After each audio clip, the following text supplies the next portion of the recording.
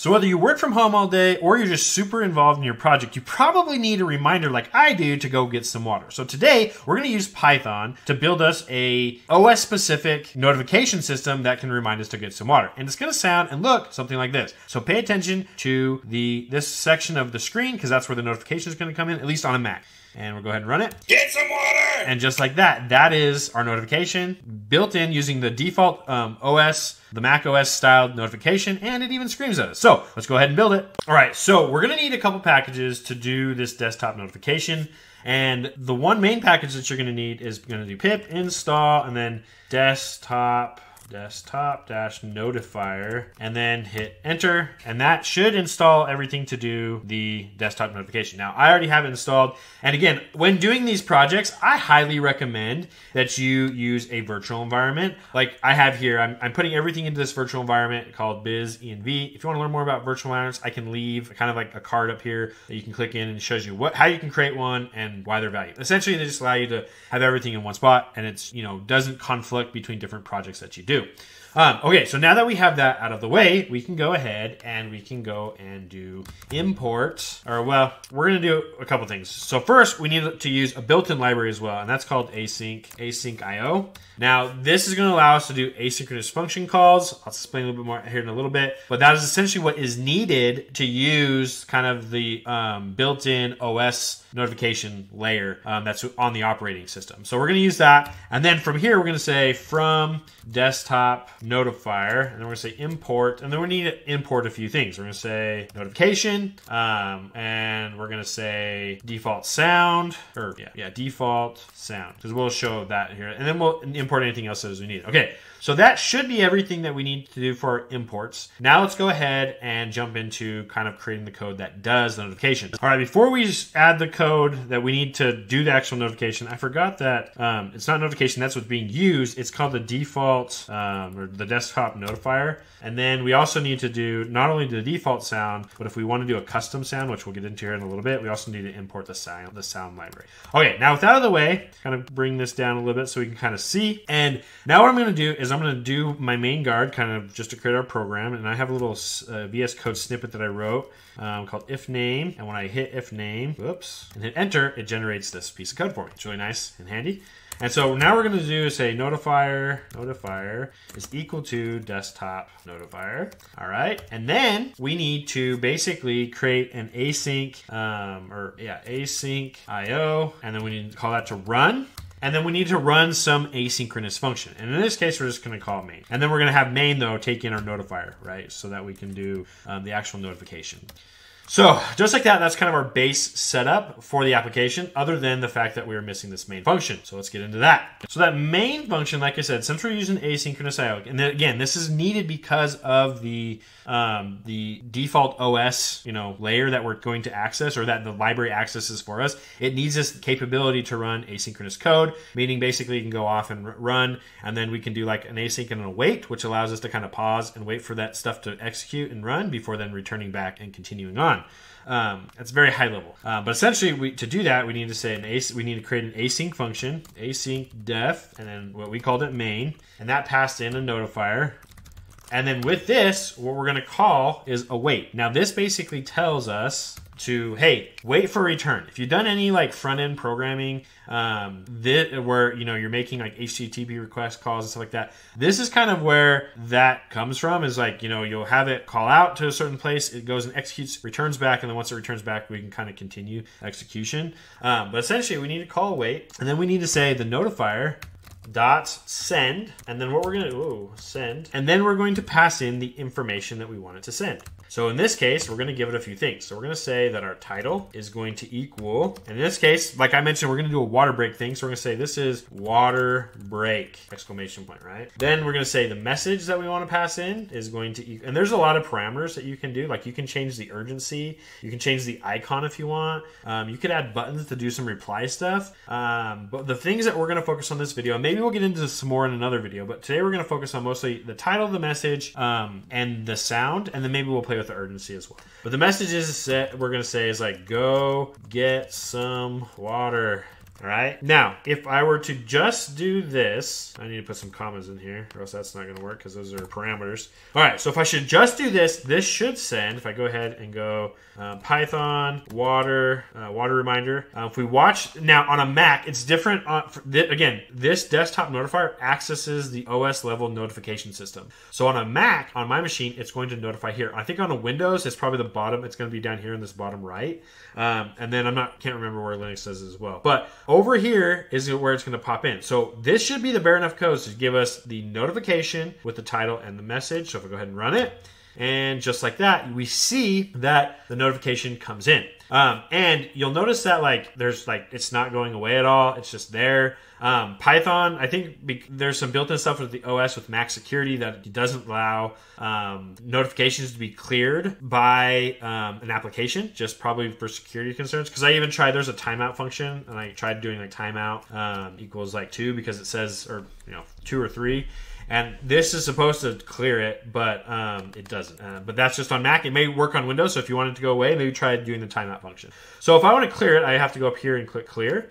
Now, the first time that this runs on your machine on your Mac, you'll probably get a notification saying, "Hey, do you want to allow notifications from this um, this application?" So you'll want to click yes. Um, otherwise, you may not. It may go away. The other thing I want to point out, um, or they may not show up. The other thing I want to point out is, for example, if I come up here and on my Mac and I do um, do not disturb, if this is on at all, like always on, if you notice when I go ahead and run this, it nothing pops up. But if I were to click my notification center, you will see that hey, it's right there in the notification center. And that's just because I think of the default, like I, I think this has to play with urgency um, and and just being in do not disturb, so it's not going to disturb you with those notifications. So if you want the no- notifications, make sure that this is off, that the do not disturb is off.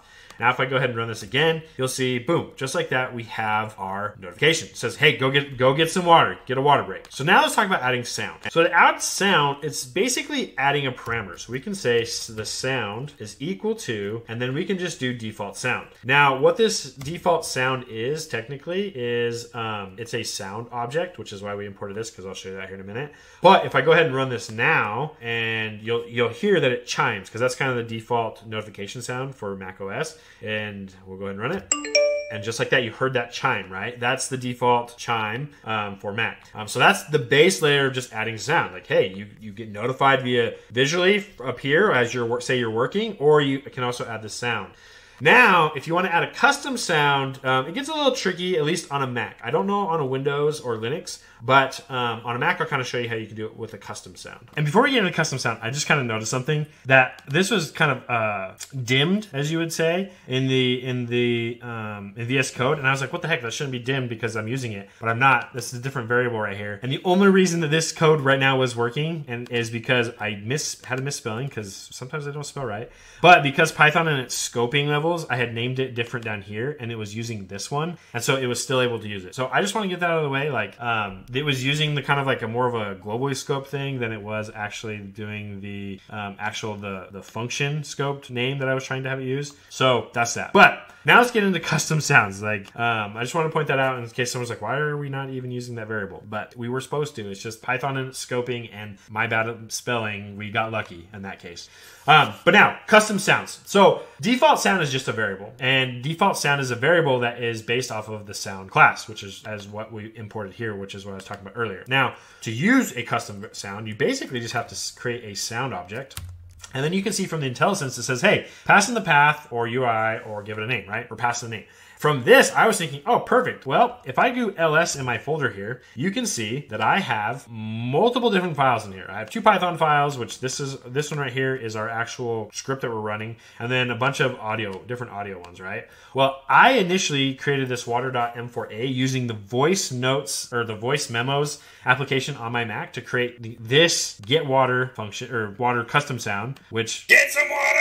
basically just yells at us telling us get some water, right? Um, but then I was like, oh, hey, we should probably, because I don't know what this package supports. So I was like, we probably either want to convert this to an MP3 or a WAV. So I tried MP3 first and I tried a WAV by just doing simply something like um, you can do dot slash, and then you can say, and I'm just use the get water example dot wave. Um, as well as you could also say path is equal to this. Now, this is where it gets a little tricky on a Mac. On Windows, and I think Linux, I'm not 100% sure on Linux, this should work just fine um, to use the custom to use the custom sound. Um, but if I run this, what you'll notice is that we get the notification, but we don't get the custom sound on a Mac. So how do we go about and fix that? Well, let me talk. Let me show you how to do that right now. So on a Mac, to actually do the custom sound, I had to actually dig into this package and see what it's doing.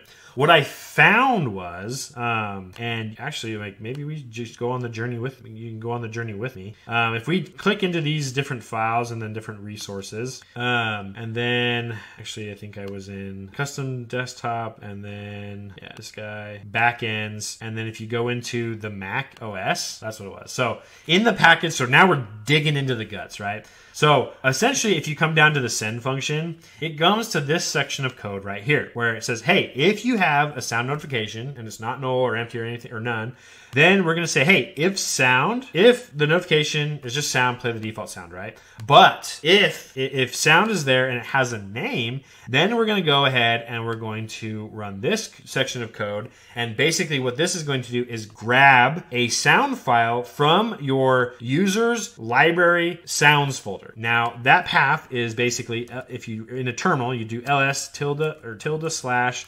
library sounds, it's right here. So I went and basically moved or copied my wave file that was screaming at us to get some water and I put it in here, right? So then I was like, okay, cool. Well, let me just do this then. Like, I'll just do get get wave, get water.wave, right? And run run um, our script. And yet again, there is the notification, but no sound. Then I dug into it a little bit um, further and found that in this sound file, it is only doing it if you do the name is equal to get water.wave. So now if I go ahead and run this, you'll see that get some water. We got the notification and we got the sound. So if you're on a Mac, that is how to use this um, desktop notification or desktop notifier um, to one build a build a um, notification a custom notification. And we could do some other things like we could add an icon or we could do um, stuff like that. But basically here's the basic thing. It gives us a os a mac or you know if you're on windows and you know your specifics os notification system it gives us the title and it gives us whatever message we want. And now we have the ability to do, to do custom sound. All right. So that's pretty cool. And and then you can take this even one step further and you could either um, have a script that runs and um, has a timer in it that just every 15 minutes goes off or every set time it goes off. Or